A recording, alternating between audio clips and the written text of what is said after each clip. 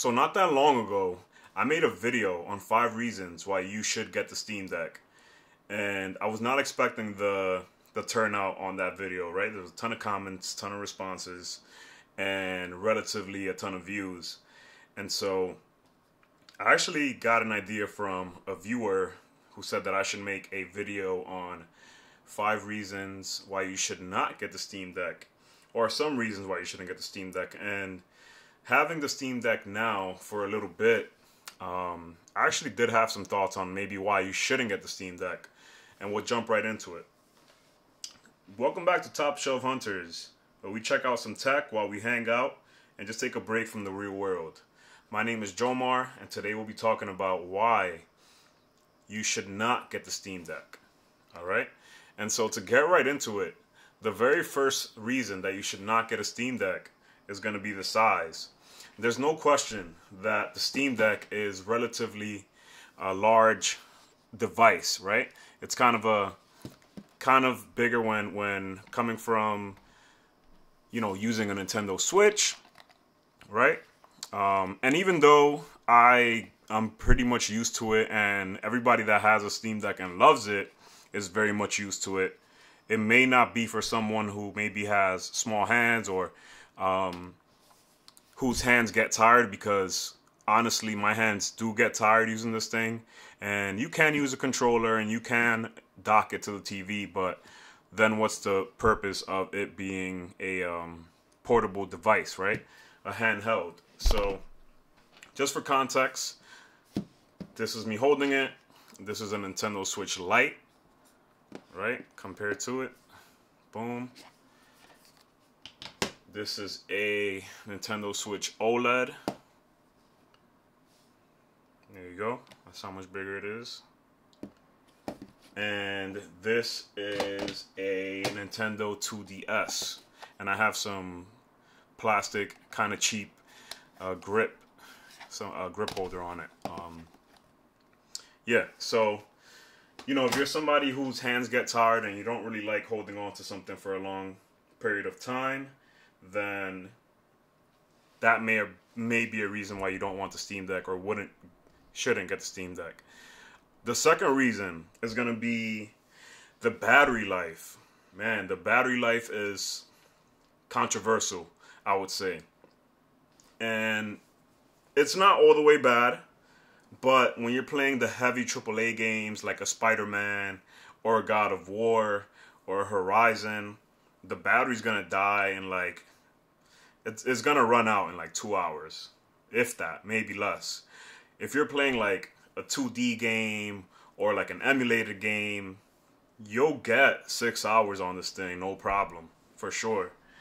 Um, I mean, some solutions for that are really, you know, carrying a um, a portable battery or or playing close to an outlet and just having it hooked up that's something that I do. I'll play connected to an outlet, or um, i mean, I'll just play for a couple of hours. It's, it's really not a big deal for me, but I can see why it would be a big deal for somebody that travels and, and is mostly on the go. Right? There's so many people that use a Steam Deck from all different backgrounds, and, and people that you know are in the military or just travel or everything like that. Right? So that that is a big deal breaker in my opinion. Now, the third reason is going to be uh, if you're a, a physical collector. So, if you're a big physical collector and you love to, you know, get something tangible for your money, then the Steam Deck is definitely not for you because everything here is digital. And the only thing physical about it is memory cards. You'll have to get memory cards to install your games onto them. And um, you know, depending on how many games you want, you're gonna have to get like a one terabyte or something to to store all of your games. Now it's probably wiser if you just you know put a put the games that you're playing on the memory card so you don't need that many. But honestly, with a one terabyte, you can put tons of games on here, um, no problem. I'm just gonna leave this here for comparison. Um, so yeah, so that that's gonna be probably the, the third reason. The fourth reason I would say is the Steam Deck may have a new version coming out soon, and there's been, you know, there's been hints. There's not haven't been exactly rumors, I would say, but there's definitely been hints on whether a second device would come out is coming out. Um, I saw an article where they were talking about how Valve was already kind of working on some of the kinks, and one of those things was I'll tell you what it wasn't. It was the the screen. So Valve isn't worried about um, the screen right now. They're more so focused on things like the battery life, maybe making it a little bit smaller, and that kind of stuff. And so um, that that could be one reason why you wouldn't want the Steam Deck. And so I think the last reason is that although the Steam Deck and the fifth reason to, to land the plane here on, on the five reasons why you shouldn't get a Steam Deck. And guys, if you find this video helpful, please like, comment, and subscribe. I'm just, you know, trying to make a platform for people to just come, chill, hang out, talk about some tech, and just kick it for a little bit. Like or dislike, um, based off of your preference, that's totally fine. Um, that definitely helps me understand if I'm doing something right or wrong.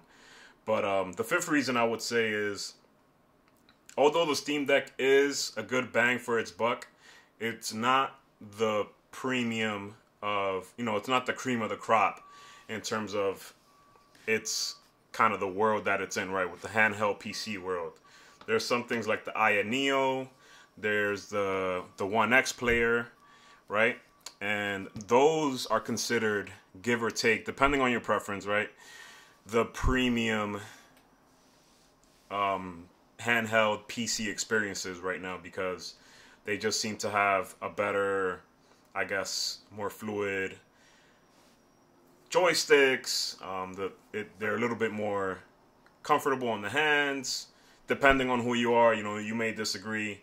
Um, and they're just designed to be a little bit more aesthetic. So, those are some reasons why you may not want to get the Steam Deck. Let me know in the comments. What do you guys think?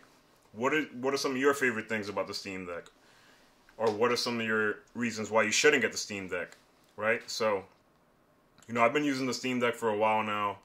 Um, I made a few videos on some accessories and um, again why you shouldn't get it, why you should get it, and yeah, I mean the Steam Deck has been honestly awesome. It's a game changer. It's it's helped me get more and more into the PC world, and I'm pretty grateful for for what it is. You know, I'm happy with it, especially like for the price. And this is the 512 gigabyte version. Some games that I'm playing here. Um, and yeah, so again, let me know in the comments what you guys think. I would appreciate you guys letting me know what are some of your thoughts on this video. And please check up on me again. I'll see you guys in the next one. Peace.